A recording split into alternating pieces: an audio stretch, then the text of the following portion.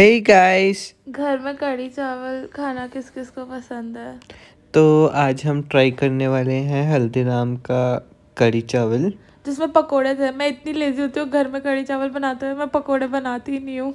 यार बहुत टाइम हो गया घर के कड़ी चावल खाए हुए। ये बाय द वे काफ़ी ज़्यादा टेस्टी थे घर जैसे ही थे। सही में। I think this was for one twenty rupees is definitely worth it एक बार ट्राई करना और मुझे हमें बताना कैसा लगा।